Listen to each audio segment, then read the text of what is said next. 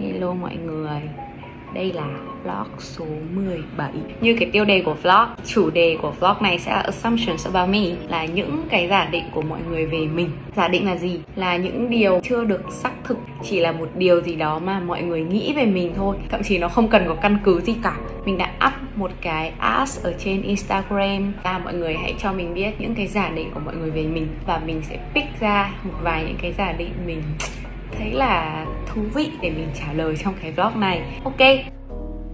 Cái này thì mình không chắc nhá.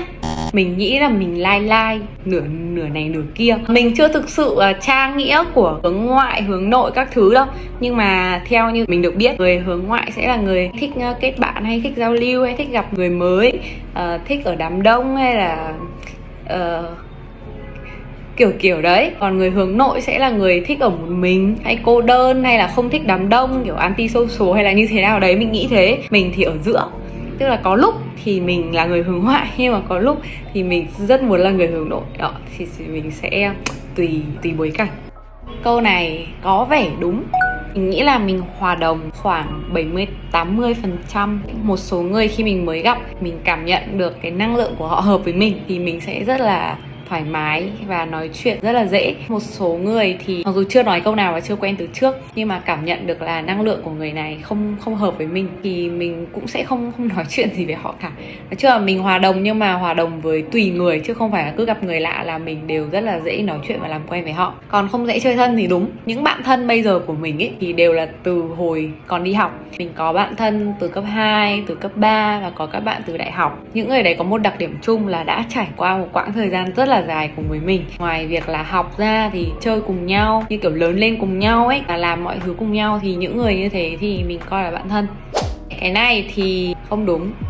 Mình là người rất là thẳng tính cho nên nếu mà mình có buồn hay khó chịu cái gì thì thường mình sẽ nói luôn. Và cũng vì thế nếu như mà mình chưa kịp nói ra ấy, thì cái mặt mình nó sẽ thể hiện tất cả.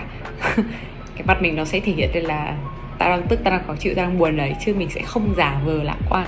Rất nhiều người đã gõ ở đây cho mình là thấy mình tích cực, thấy mình lạc quan, thấy mình yêu đời, thấy mình ít khi buồn ra ra các thứ. Thì những cái điều đấy mọi người cảm nhận từ mình ấy nó là xuất phát từ cái năng lượng thật của mình. Mình sẽ không giả vờ. Mình như thế nào thì mình bộc lộ ra đúng như thế. Cái này thì mình không chắc lắm.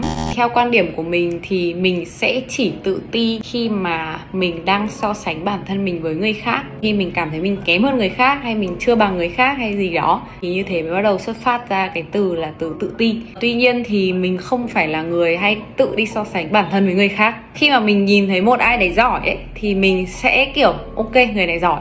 Kiểu người này giỏi thế, kiểu thích thế, ngưỡng mộ thế, nhưng mà mình lại không so sánh mình với họ. Không biết tại sao. Câu này mình nghĩ là đúng khoảng 70 đến 80% mình thích đi chơi một mình không phải bởi vì mình thích kiểu cô đơn, cô độc hay là gì gì ấy đâu. Mà chỉ đơn giản là rất nhiều khi mình cảm thấy là ở một mình nó rất là vui ấy. Mình đã từng thử đi xem phim một mình, đi du lịch một mình mấy lần rồi có đi Malay, đi Hàn Quốc một mình. Đi Hàn Quốc thậm chí mình còn đi hai tuần và chỉ đi một mình. Đương nhiên là mình vẫn có những lúc mà mình thích đi chơi bạn bè. Nói chung mình tìm được niềm vui khi mà mình ở một mình và mình cũng tìm được niềm vui khi mà mình đi với bạn bè. Và bằng một cách nào đấy mình tìm được nhiều niềm vui khi mình ở một mình nhiều hơn. Thiên vị nó hơi một chút. Cái này uh, ra nhá mình khá là thích cảm giác dậy sớm rồi đi ăn sáng rồi đi cà phê. Hoặc là gần đây mình có dậy sớm một vài buổi trong tuần để đi tập pilates. Môn mà các bạn idol kpop hay tập này này. Thì gọi là mình thích cái không khí buổi sáng sớm. Còn để mà thích dậy sớm thì không chắc lắm tại vì mình sẽ thích dậy sớm nếu như hôm trước mình ngủ sớm. Nhưng mà mình là một người ngủ rất là muộn. Và sáng hôm sau mà thích dậy sớm thì hơi khó. Cái này hoàn toàn không nhá tại vì sao? Tại vì mình không thích ketchup, mình anti tương cà. Có một số món ăn mà mình sẽ thích nó nếu nó là đồ tươi. Ví dụ như cà chua, mình rất thích ăn cà chua, nhưng mình không thích tương cà. Mình không thích cái vị tương cà này nó rất là giả ấy. Mình rất thích ăn dâu tây, nhưng mà mình rất là anti những cái vị dâu tây, vị siro ấy, kiểu sữa dâu hay là kem dâu các thứ đấy. Mình mình không thích những cái đấy.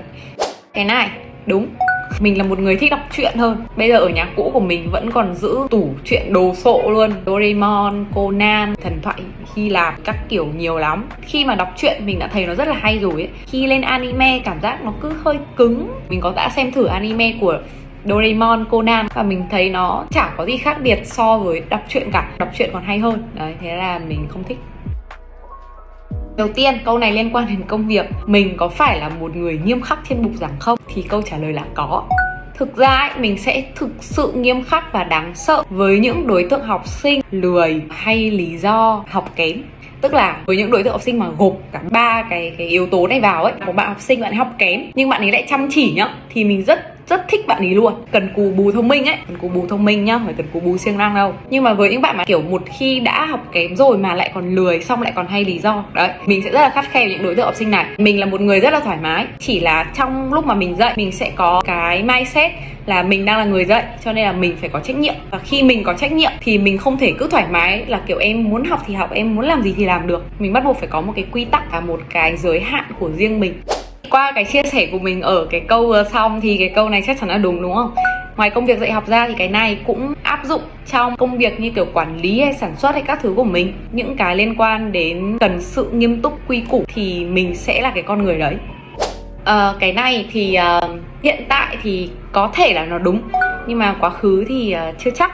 Về phần con ngoan trước. Ngày xưa lúc mà mình cấp 2 cái lúc tuổi dậy thì ấy, là cái hồi mình nghịch và mình hư nhất. Mình rất hay bị lên hội đồng kỷ luật. Mẹ mình rất hay bị mời đến để gặp cô chủ nhiệm vì những lỗi của mình gây ra. Và thực ra trước đấy là mình học cũng ok rồi cơ. Tầm lớp 6 lớp 7 là học lực tốt nhưng mà hạnh kiểm treo. Nghịch đến với mức độ đấy luôn. Ở nhà thì mình cũng rất hay cãi nhau với chị mình, chẳng hạn vùng vằng bỏ nhà đi các thứ này. Đấy, nó cũng có những cái như thế. Cho đến năm tầm lớp 8 lớp 9 một điều kỳ diệu nào đấy có thể là ông trời đã giúp mình giác ngộ. Tự nhiên không ai làm gì nhá. Mình mềm tính lại không nghịch nữa và mình bắt đầu tập trung vào việc học. Từ cái lúc đấy cho đến bây giờ mình không có làm điều gì để bố mẹ phiền lòng nữa. Mình nghĩ như thế cũng là con ngoan rồi. Còn về trò giỏi thì uh, mình không biết nữa. Mình thì tự đánh giá là mình không phải là một người quá thông minh hay là đầu nảy số nhanh hay gì cả ấy. Cái hồi đi học ấy mình chủ yếu là mình rất là chăm thôi. Có những môn mà mình học giỏi thật và có những môn mình không không thích nhưng mà mình vẫn rất là cố gắng học nó. Nhưng mà cái việc là không trốn học bao giờ ở trong cái ngoặc đơn này này thì thì không nhá, mình trốn học rất là nhiều luôn.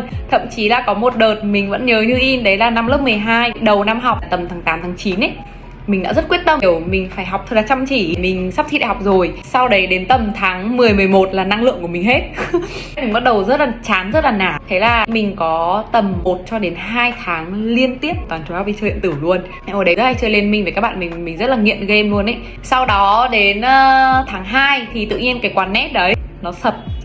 Nó đóng cửa. Thế là lúc đấy mình nghĩ là chắc là định mệnh đây rồi. Chắc đây là một ờ, hồi chuông cảnh tỉnh cho mình đây rồi. Mình bắt đầu không chơi điện tử nữa và mình bắt đầu quay trở lại cái guồng học bình thường cho đến lúc thi đại học. Nói chung cái phần con ngoan trò giỏi này, mình không phải là một người 100% con ngoan trò giỏi con nhà người ta mà các bạn ngưỡng mộ đâu. Chỉ là mình có một cái kết quả tốt không nhưng mà rõ ràng là trong quá trình, trong quá khứ của mình mình cũng đã từng là một đứa rất là hư, rất là nghịch. Cái này đúng nhá mình đã chính thức học xong cao học vào tháng 3 rồi. Hiện tại mình chỉ đang chờ thủ tục để chờ cấp bằng thôi. Mọi người chuẩn bị gọi mình là thạc sĩ được rồi ấy. Ừ. Ok, phần này mình gộp long và mực.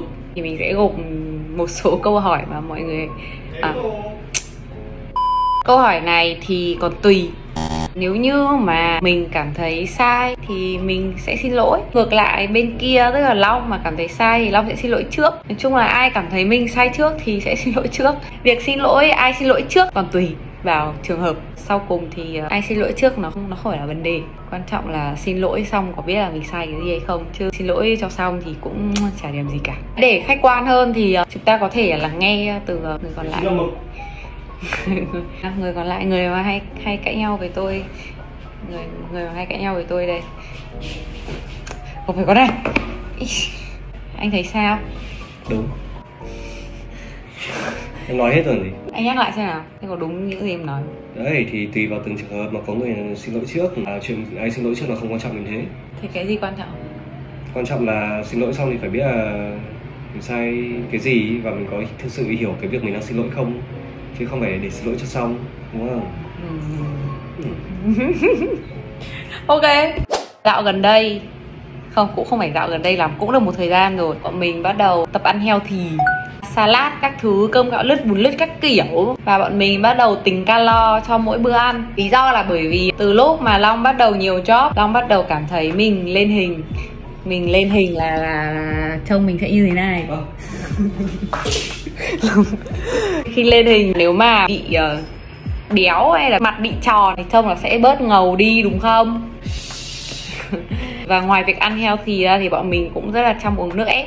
Nước ép không đường. Nhưng mà cũng có những đợt là bọn mình thèm ăn ngon thì bọn mình cũng vẫn ăn gà rồi bít tết rồi các thể loại. Nói chung là cũng không chừa cái gì cả tại sao nhỉ? Tại tại sao tại sao em lại nghĩ ra cái cái giả định này vậy?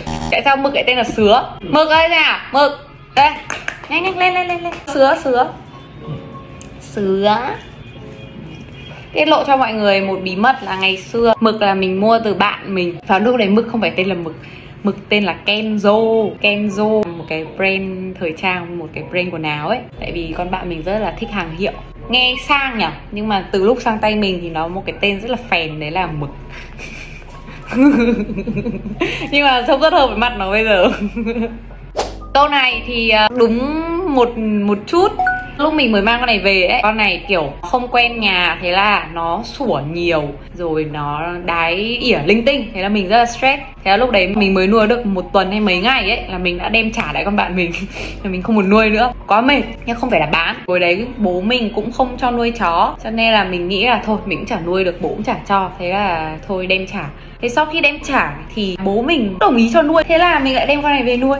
Đấy, thế là đến tận bây giờ. Yeah. Câu số 1 nói cho mọi người biết luôn, Hiện tại mình đã xin nghỉ ở FPT Polytechnic rồi. Mình đã học xong cao học cho nên là mình muốn có 1 đến 2 năm như kiểu là gap year. Mình muốn thử làm những công việc khác, quản lý, sản xuất, làm content creator trên mạng này này. Mình thì nghĩ là sau này mình sẽ vẫn làm giáo viên thôi. Chỉ là ở hiện tại và tương lai gần thì mình đang muốn tạm nghỉ nó để thử làm những cái khác. Mình không muốn bây giờ mình cứ cắm đầu làm giáo viên luôn. Trong khi mình đang rất là muốn thử những cái điều khác nhau này, thì mình sợ sau này mình sẽ bị hối hận ấy. Cái này nó đúng về trước thôi cái mốc 30 tuổi là cái mốc mà mọi người hay đặt ra là để phải lập gia đình và để có con. Thực ra mình cũng muốn là nếu mà mình gặp được một người mà mình rất là yêu và rất là hợp thì đương nhiên là mình sẽ muốn kết hôn với người ta trước 30 tuổi rồi. Tuy nhiên, để nói việc có con thì chia sẻ thật lòng là mình rất là sợ mặc dù bây giờ mình đã 25 tuổi rồi và trên Facebook của mình bạn bè của mình là đẻ con hết rồi thậm chí có đứa là đẻ đến hai con rồi ấy. Nhưng mà mình ngồi đây mình vẫn rất là sợ. Mình không biết mình sợ vì cái gì. Mình nghĩ là sợ đau sợ việc là phải nuôi một đứa trẻ. Tại vì mình không biết làm như thế nào cả. Mình nghĩ là nó đang quá tải so với mình ở thời điểm này. Cái này uh, đúng. Hiện tại mình cũng đang muốn bán một cái gì đấy hoặc là mở một cái gì đấy. Nhưng mà cứ nghĩ thôi chứ mình cũng chẳng nghĩ ra là mình nên bán hay mở cái gì cái này cũng có nghĩ đến.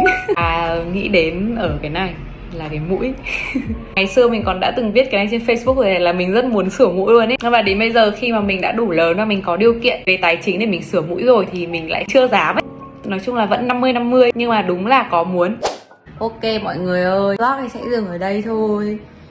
Bye bye mọi người. Bye bye.